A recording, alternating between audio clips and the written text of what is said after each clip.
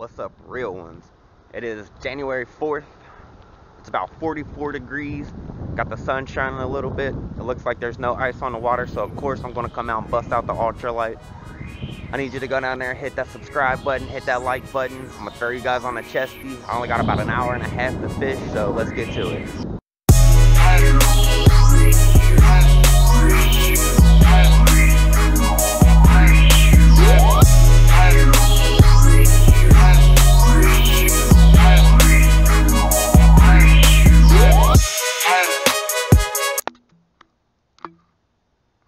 Alright guys, so we made it back to this little cove back here. I'm kind of cast him around a little bit, see if I can find anything to bite back here. Not gonna spend too much time in this area, unless, of course, they're back here biting, but just kind of gonna work it lightly with the rod, you know, with a little swim bait. See if there's any activity. We're just gonna throw him around in this area. See if anything's interested.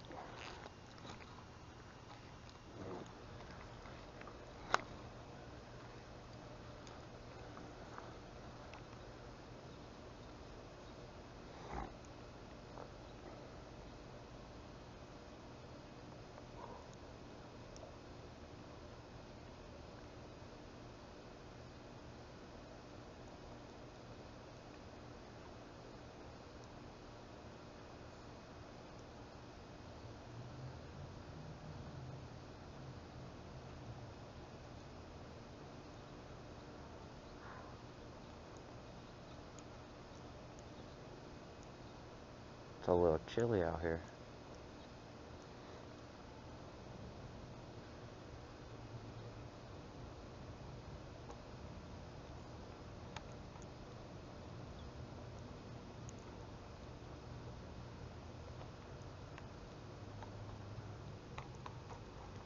Maybe I need to be down there where that sun's actually beating on the bank still.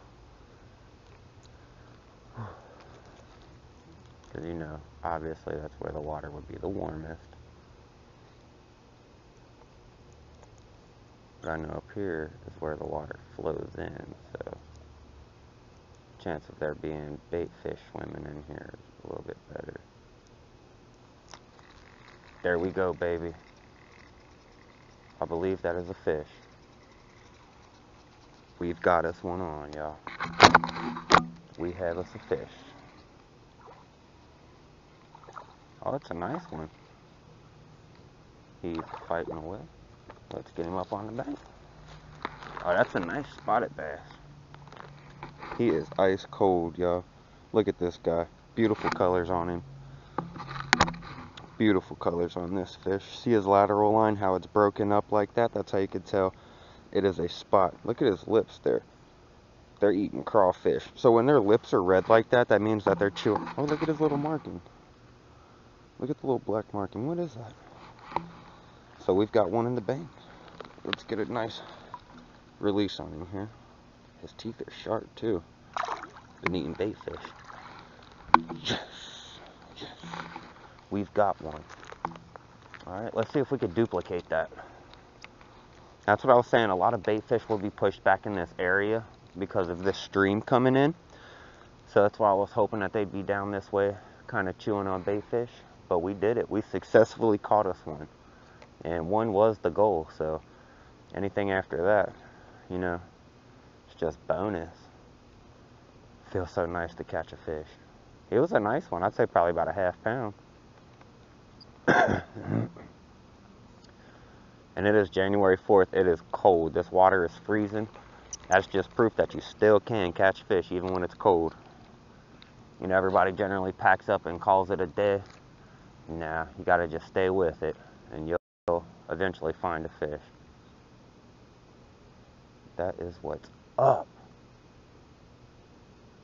Oh, I thought we had us another one.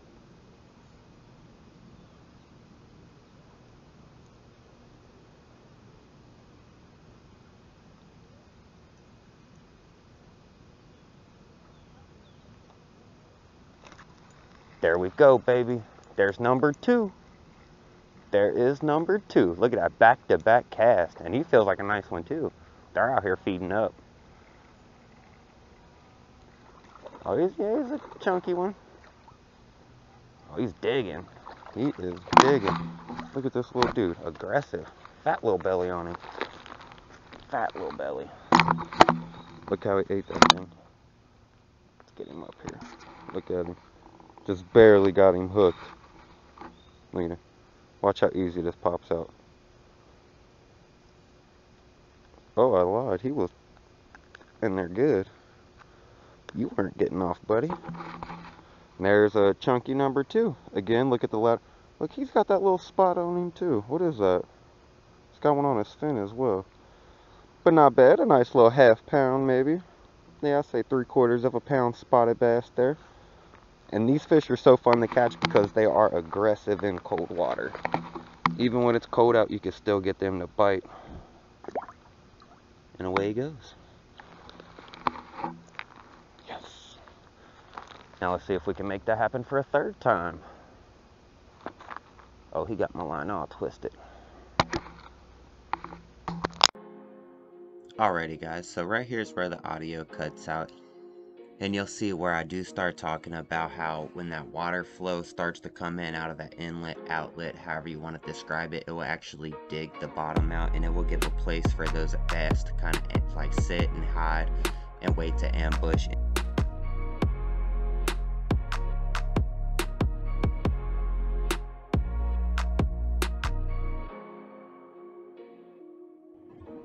Alrighty guys, so right here in this cast is the perfect example of why you want to target these areas.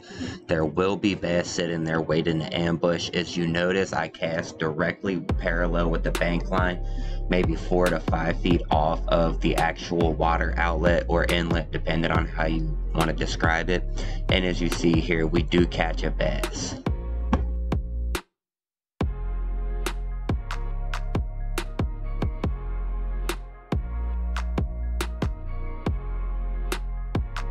Just look at how he choked that thing.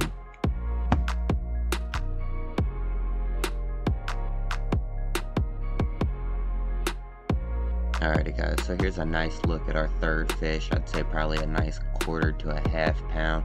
Really pale bass, but still nonetheless a really nice fish to catch, especially when it's 40 degrees outside.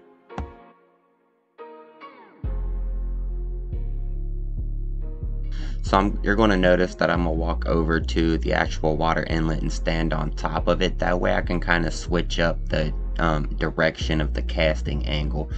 Um, few people actually understand that just switching up your casting angle can benefit you so much.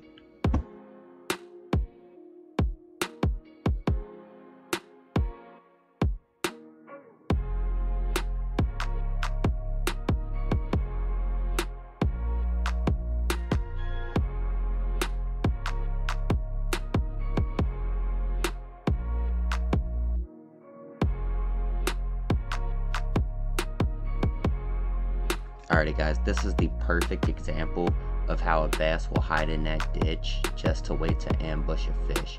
As you see, I switched it up. I cast it along with the ditch, let it kind of drop down to the bottom and worked it back.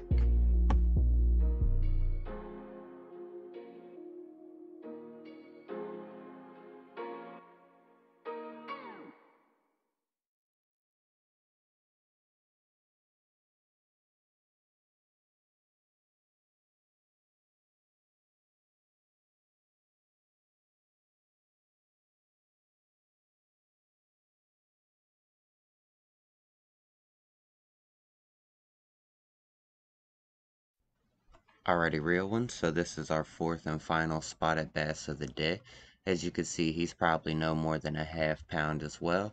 No bigger than, you know, any of the other ones we caught today, but it was still nice getting out, getting it, or being able to catch four fish today on this really cold day. Hopefully this inspires you guys to get on or out on the water no matter the temp. If you guys did enjoy the content, make sure to go down there, somewhere down in that little general region, hit that subscribe button, hit that like button. It kind of lets you lets me know that uh you guys are enjoying the content. Leave a comment on anything that you want to see in the future. And as always, guys, make sure to keep it safe, keep it real, and catch you some pond pickles. I'll see you guys next time on the water. Peace.